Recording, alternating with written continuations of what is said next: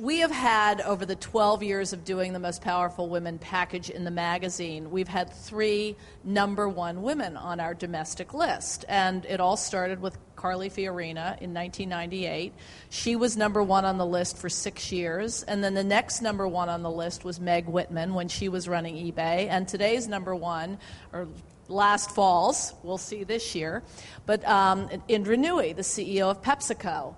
Now two of those three women are running for office representing California. Meg Whitman is running for the Republican ticket for governor.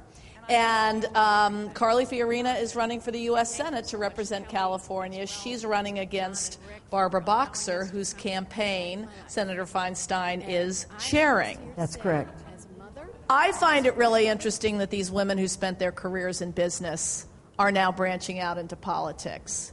And does it surprise you that these women are going into this space and what's it all about? I mean it's it's it's interesting.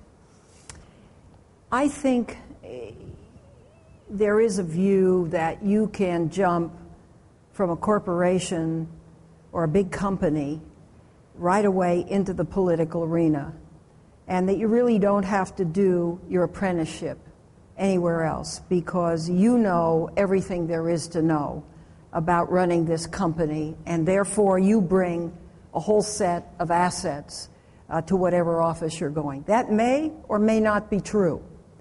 But the, the arena that we work in is a totally different arena than the corporate arena. You can't give orders and they're not immediately carried out. Uh, maybe the, the president can, and even in some respects, he cannot because he has to get the views and the legislation through two houses of Congress. So I think it takes a kind of perceptiveness, sensitivity, and ability to work with a very diverse group of people that you do not necessarily have in a corporate environment. And that is very different. Therefore, the ability to adjust yourself to sit around and debate something, try to solve a problem, go through maybe days of negotiation on a big bill, whether it's health care, whether it's uh, financial reform, uh, whether it's immigration, or anything else, is what really, I was going to say, separates the men from the boys.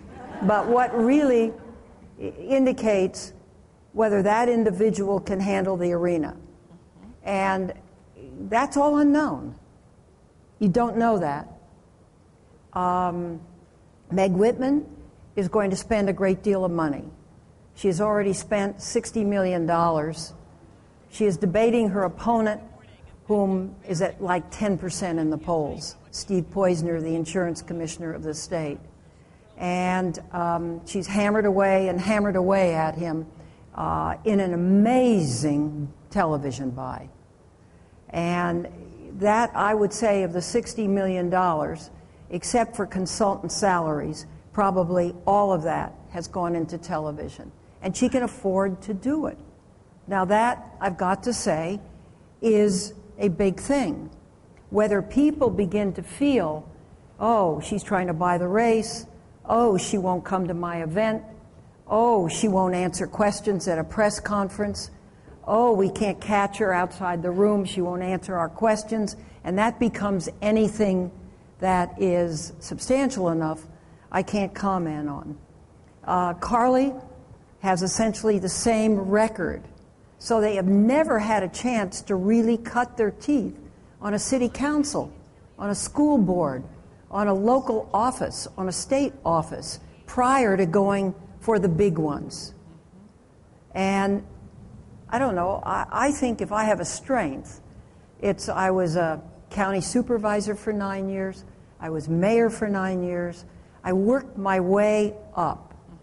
And I think I have a sensitivity of what, and a desire of what I want to do, which is work across party lines, which is solve problems, which is bring any talent that I might have to the solution of a given problem. I'm not particularly interested in this. I'm really interested in this mm-hmm. to the greatest extent.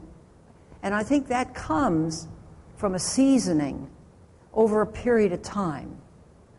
And that's why I always say to women do your apprenticeship, earn your spurs, show your value, because women have enormous value.